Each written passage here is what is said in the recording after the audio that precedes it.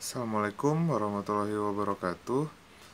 Eh, bertemu lagi teman-teman dengan saya yang akan menemani teman-teman semuanya pada mata kuliah Komputer Desain 1 yang akan mencoba untuk mengulik Corel Draw untuk beberapa pertemuan ke depan dan eh, mengenai serinya serinya ini ya eh, kalau saya sih makainya X7 dan teman-teman sih ya eh, diperbolehkan untuk ya silakan aja mau pakai seri apa pun gitu disesuaikan dengan kondisi gadget teman-teman sendiri laptop ya ataupun apa pun lah itu Eh, jangan sampai laptopnya nggak kuat tapi make seri yang eh, terbaru misalnya disesuaikan aja gitu.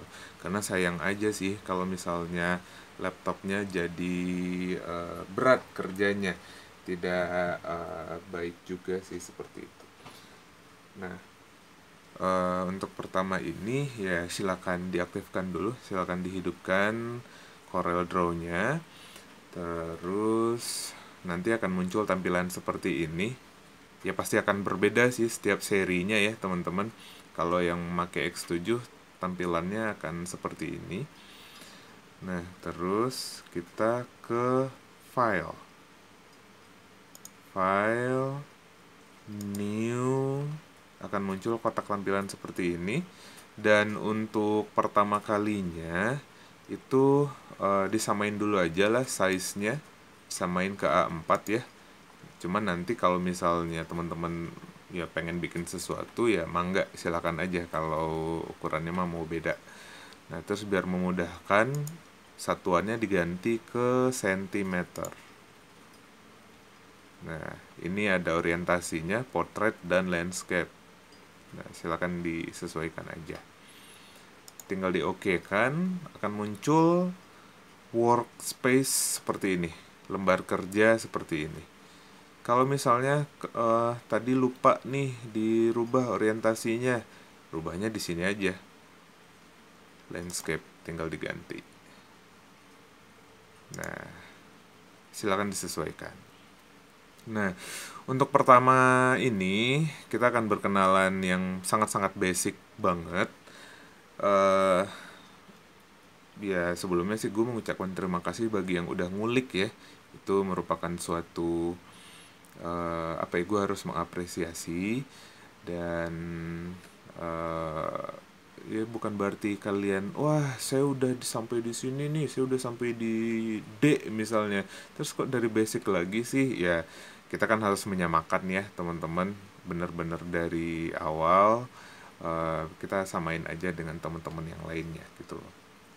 Nah untuk perkenalan uh, kita akan berkenalan dengan istilah-istilah yang ada di uh, interface-nya ini dari file sampai help file edit view layout object effect bitmap text table tools windows dan help pokoknya yang ada di atas ya segala tulisan yang ada di atas semoga kursor saya terlihat teman-teman itu dinamakan dengan menu bar.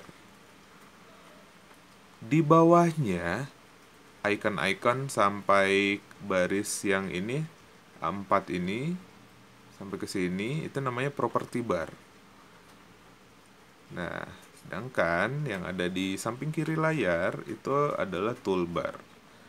Nah, toolbar ini yang mungkin nantinya akan berperan sangat penting sekali, sangat banyak sekali dalam proses pengerjaan uh, suatu karya secara digital. Nah, terus uh, yang ingin kita coba, yang ingin kita ulik adalah basic shape tool, bentuk-bentuk dasar. Nah, arahkan kursornya ke toolbar. Ada yang di ada yang dinamakan dengan rectangle tool. Klik aja. Akan muncul shape seperti ini. Semoga ini teman-teman, semoga terlihat ya. Duh mohon maaf saya ngebikin video dengan uh, segala keterbatasan yang ada. Nah, ini kan uh, ya kalau bahasa awamnya mah persegi panjang nih gitu. Kalau saya mau bikin persegi gimana? Persegi yang benar-benar presisi. Gampang aja. Caranya sama. Diklik tinggal di drag tapi sambil dipencet CTRL nah muncul dua shape yang berbeda lakukan hal yang sama untuk shape yang lainnya. Coba. Kalau yang ini silahkan lakukan sebisa mungkin. Dikira-kira aja mau dibentuk seperti apa. Tapi kan tidak perfect ya lingkarannya. Ellipse toolnya tidak tidak perfect. Nah ngebikin ngebikin yang perfect caranya sama. Diklik tinggal di drag tapi pencet CTRL coba lakukan untuk polygon tool. Ini banyak ya pilihannya teman-teman. Caranya ya tinggal di uh, klik lama aja. Nah, silakan nanti dicobakan sendiri. Cuman untuk sekarang kita main polygon tool dulu aja. Tuh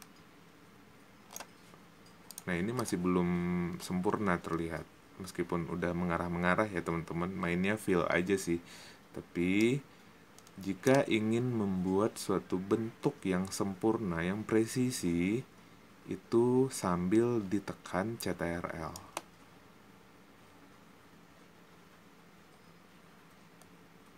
Jadi biar semakin uh, apa ya?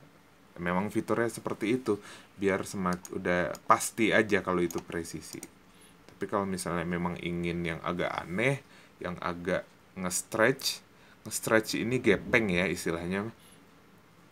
Uh, itu mah uh, nggak disesuaikan dengan kebutuhan uh, keperluan desain dari teman-teman sendiri. Nah, terus ini kan udah jadi nih uh, shape-nya. Ngewarnainnya gimana? Ngewarnainnya bisa diklik dulu tapi ya, diklik dulu atau diseleksi istilahnya. Diseleksi sambil mun sampai muncul uh, kotak hitam-hitam seperti ini Terus teman-teman bisa milih langsung warna yang ada di pojok kanan layar. Dia akan langsung terisi. Nah, kalau misalnya ingin warna yang lebih variatif, arahkan kursor ke bawah ke samping icon ember setengah tumpah ya. Ini mah fill itu teman-teman fill. Nah, terus double klik. Silahkan disesuaikan sendiri. tinggal di oke kan nah terus yang ini apa buat apa nah yang di sebelah sini itu buat outline-nya stroke-nya. Double klik mau ganti warna mah enggak silahkan. Ketebalan bisa diganti. Ya anggaplah kita pakai 24 PT dulu aja 24 points. Stylenya juga bisa diganti.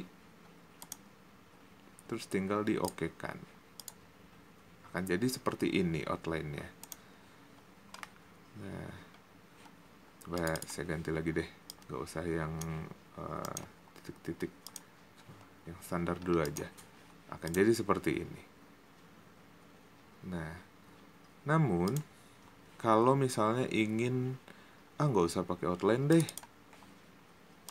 Nah teman-teman bisa uh, ini widthnya itu dinonkan udah gitu aja. Oke hilang outline-nya. Oke silakan bermain warna dulu teman-teman. Silakan diisikan warnanya sesuai uh, yang teman-teman pengen sesuai uh, ya yang memang mencirikan teman-teman aja.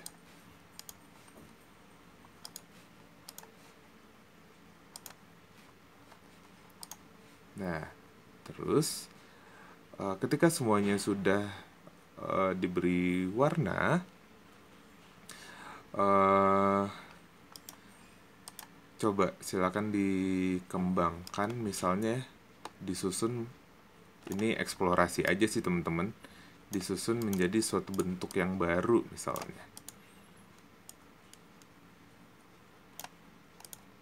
Eksplorasi aja sih ya. Nah. Nah ini dinamakan sistem uh, layering atau menumpuk nah jadi ketika misal nih uh, mungkin sekarang tidak begitu uh, ini sih tidak begitu kelihatan sih. Tapi kalau misalnya ketika teman-teman udah mengerjakan suatu project desain yang advance nah ini akan sangat membantu teman-teman. Membantunya dalam artian kita bisa mengarrange yang mana yang paling yang paling uh, terlihat utuh kita bisa uh, mengaturnya di order. Terus bisa back one. Terus kalau mau paling belakang bisa di back one lagi. Terus ini kalau mau objek yang merah terlihat seutuhnya bisa di forward one silakan bereksperimen. Nah terus kalau misalnya nih uh, ingin ingin ngedit uh, salah satu objeknya ingin ngedit posisi salah satu objeknya atau menambahkan ya tapi ada satu objek yang posisinya udah pas nih menurut teman-teman semuanya. Gampang tinggal dikunci aja tinggal dikunci klik dulu klik dulu pastinya diseleksi. Terus tinggal di lock object. Nah ini masih bisa dirubah nih. Yang lainnya masih bisa kita atur posisinya. Tapi kalau yang ini nggak bisa. Karena dia udah dikunci. Kalau unlocknya tinggal klik kanan unlock object. Nah oh iya bagi teman-teman yang uh, mungkin tampilannya tidak sama dengan saya uh, terutama untuk yang di sebelah kanan ini cara munculinnya di window docker object properties, object manager, ya, silahkan disamain aja dengan yang ada dengan yang tercentang di saya. Nanti tinggal disesuaikan ya teman-teman sesuai kebutuhan. Nah, terus menu latihan terakhir kita untuk hari ini ya cuman sebentar sih ya teman-teman karena balik lagi sih sesuai yang udah saya sampaikan sebelumnya uh, belajar online terutama yang praktek eh, sangat-sangat uh, membutuhkan sekali untuk diulang-ulang oleh teman-teman sendiri. Jadi ya uh, tidak bisa mengandalkan sepenuhnya dari saya karena saya hanya uh, sifatnya hanya mengenalkan saja gitu loh. Perlu adanya pengulangan, uh, perlu adanya latihan mandiri yang dilakukan oleh teman-teman. Nah, jadi kalau misalnya nih uh, dari contoh yang saya praktikkan tadi, ya silakan dikembangkan lagi ketika teman-teman mengulangnya di rumah. Oke. Nah, menu menu terakhir untuk hari ini itu adalah text tool. Ada dua tipe cara penggunaan tool. Yang pertama adalah tinggal langsung diklik aja. Mohon maaf, ini saya akan ngetik sembarangan dulu ya. Contoh gitu. Nah, ketika tidak diatur ya, nggak ada pengaturan, dia akan memanjang terus ke kanan. Kecuali kalau kita ngenter. Ngetiknya sih sama aja, nggak nggak ada bedanya dengan uh, Microsoft Word sama aja sih. Nah, tapi cara ini agak tidak efektif menurut saya sih. Karena ya uh, kalau langsung diklik terus kita ngetik panjang lebar nggak ngatur ya free banget gitu areanya. Nah kalau saya sih lebih prefer pakai cara yang ini diklik dulu tapi jangan dilepas klik tahan Duh mohon maaf Nah, sampai muncul kotak seperti ini, kotak uh, dengan garis putus-putus. Nah, ini adalah area kita akan ngetiknya. Jadi udah ditetapkan dulu areanya itu eh, segimana gitu loh. Nah, baru kita mulai mengetik.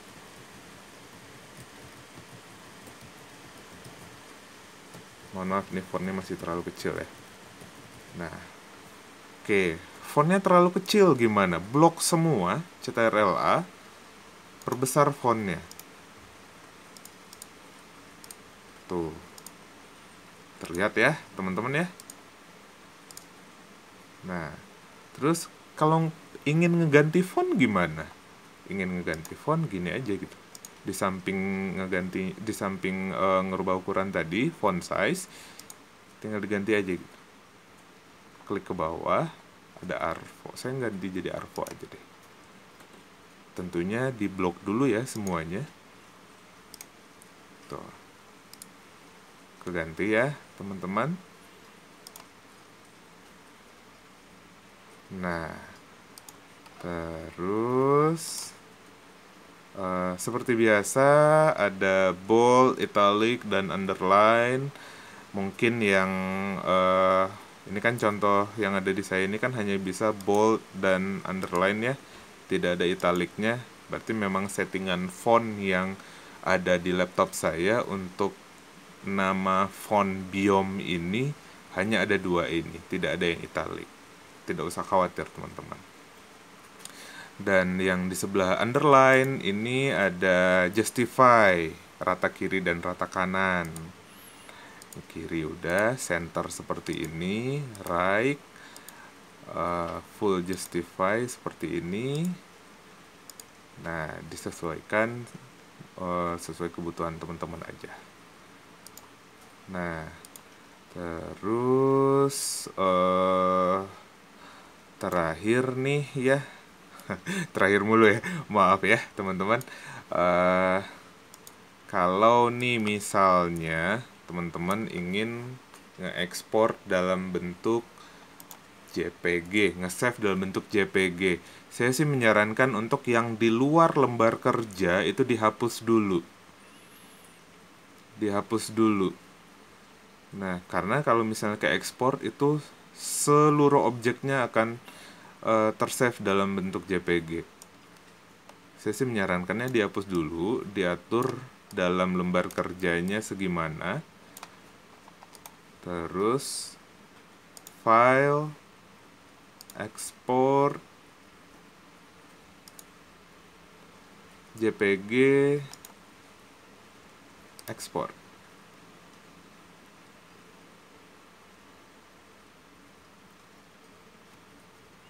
sebentar jangan tidak usah kaget lama atau apa pun lah itu ya teman-teman. Uh, karena memang prosesnya agak lama. Nah ini akan muncul tampilannya yang akan diekspor uh, hasil akhirnya hasil akhir JPG-nya seperti apa. Ini tampilannya. Previewnya lah ya kurang lebih mah. Nanti tinggal di oke kan saja.